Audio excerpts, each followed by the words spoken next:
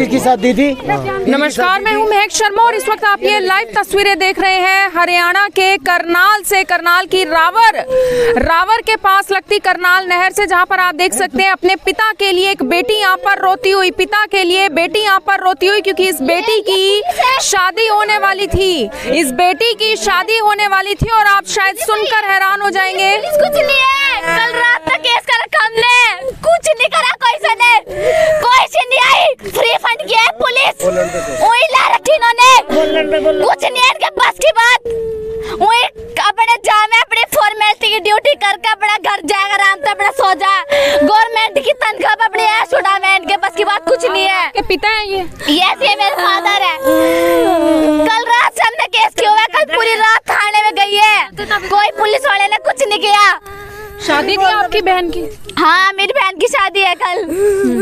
हमने लिखवाई भी थी पर पुलिस कुछ नहीं किया। पुलिस के बस की बात कुछ तो क्या लगता है हत्या का मामला है? हत्या का मामला है। मेरे को पता है संजय संजय और प्रदीप हत्या सोनू प्रीतम। वो चाहते थे भाई पहले हमारे घर की शादी उधर हो जाए। उधर हो जाए। हमारे को धमकी मिली थी। मेरे पापा को उन्होंने धमकी दी थी। फ़ोन पे धमकी दी थी उन लोगों ने। वो क्या वो कहते थे भाई ये लड़की तेरी मेरे घर आएगी। और मेरी मासी है वो भी आएगी। वो कहते हैं पहले तेरी मासी आएगी फिर आरती जाएगी। क्या नाम है आपके पिता का? नीरज। नीरज। कब से गायब है?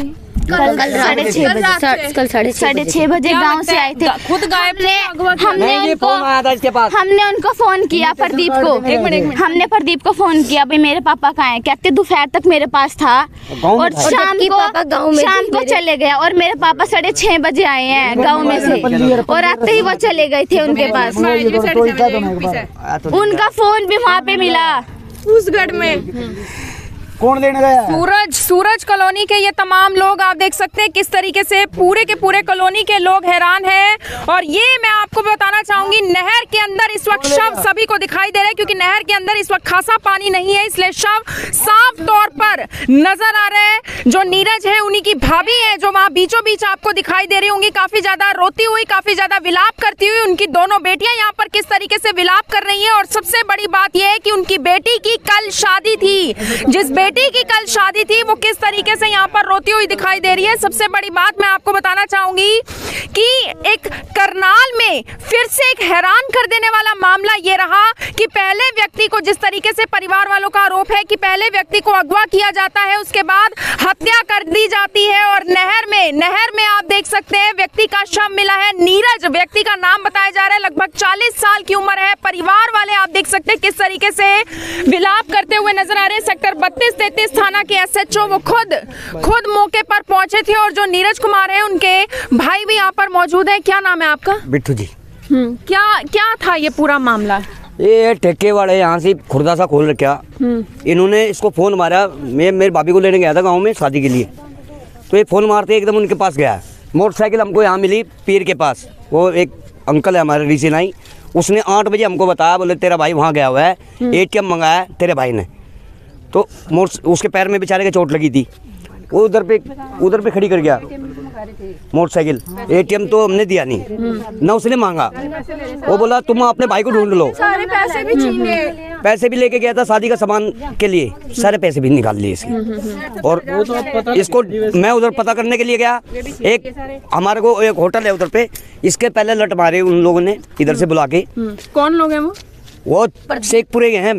प्रदीप एक संजय बताते हैं। क्या रंजिश थी उनकी? उनकी रंजिश यह थी यह बोल दे तुम्हारी लड़की हमारे घर आनी चाहिए। गुड़िया की शादी थी। कहते हैं हमारे घर में पहले शादी होगी तब इस गुड़िया ने रिश्ता वगैरह आया था? हाँ जी इसके लिए रिश्ता आया था उनका। एक मिनट एक मिनट हाँ उनके उनके घर से प्रदीप का रिश्ता आया था इसके लिए। नाम है आपका? पिंकी नाम है मैं इसकी ताई हूँ। उन्हों इसने मना कर दिया क्योंकि वो इससे दुगना बड़ा था। इसने मना कर दिया। फिर भी मेरे देवर ने अपनी साली के साथ उसका रिश्ता करा।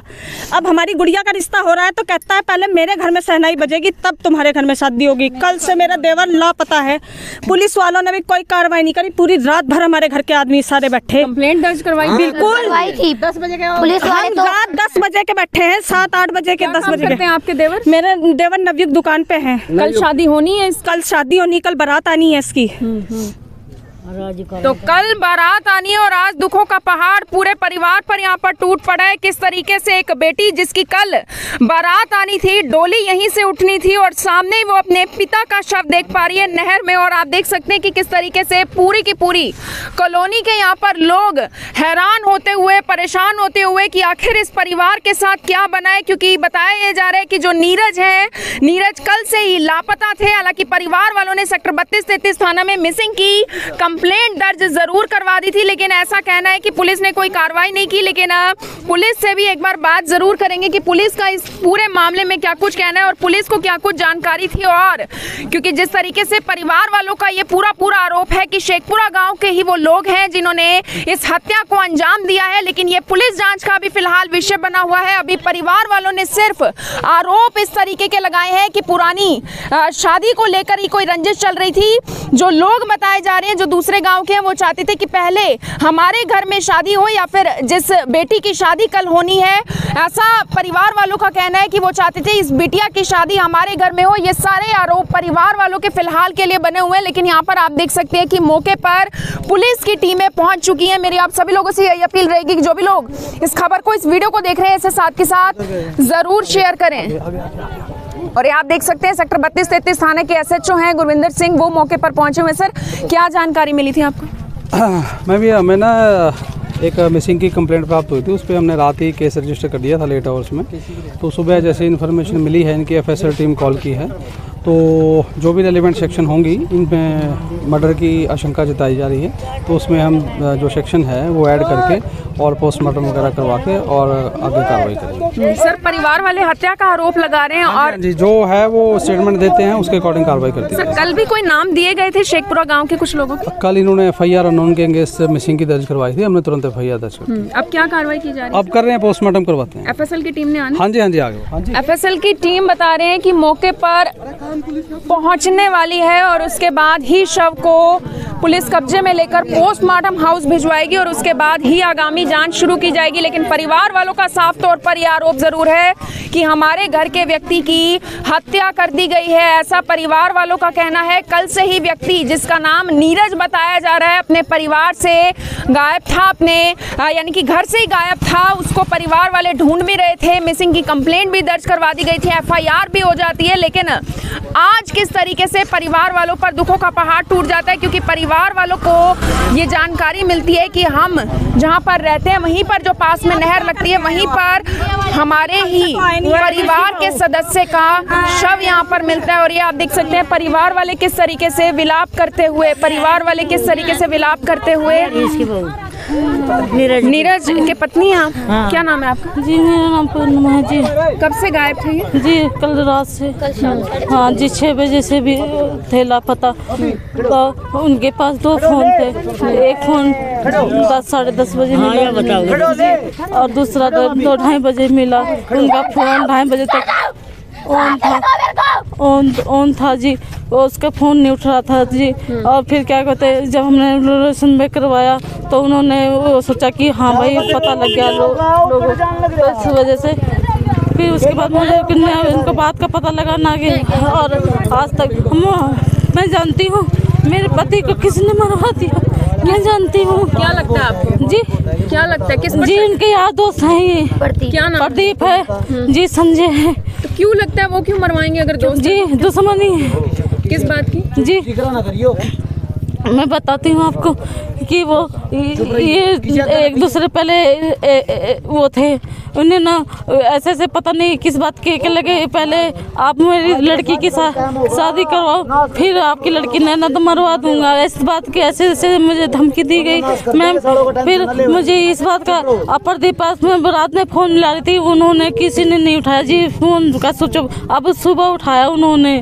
और ऐसे ऐसे हम- क्या क्या हमने क्या किया था? उन लोगों का कुछ भी नहीं आया हम हमारे तो उठ बैठी। क्या उन्होंने मेरे हस्बैंड ने कहा था मैं अभी आते हूँ मुझे प्रदीप ने बुलाया है। जब गए थे घर से तो ऐसे ही कहा था जी कि मैं तो आप देख सकते हैं कि उस तरफ़ एफएसएल की टीम भी मौके पर पहुँच चुकी है। एफएसएल की टीम भी मौके पर पहुँच चुकी है और हत्या का साफ़ तौर पर ये मामला दिखाई दे रहा है। मेरी आप सभी लोगों से यही अपील की जो भी लोग इस खबर को इस वीडियो को देख रहे हैं इसे साथ के साथ ज़रूर शेयर करें। आप देख रहे हैं ट्वेंटी फोर में हूँ महक शर्मा हरियाणा के करनाल से आप सभी के साथ लाए धन्यवाद। अब यहाँ तक आ ही गए हैं तो हमारे चैनल को सब्सक्राइब ज़रूर करें और नीचे दिए गए बेल आइकन को ज़रूर दबाएँ, ताकि हर खबर सबसे पहले पहुँचे आप तक।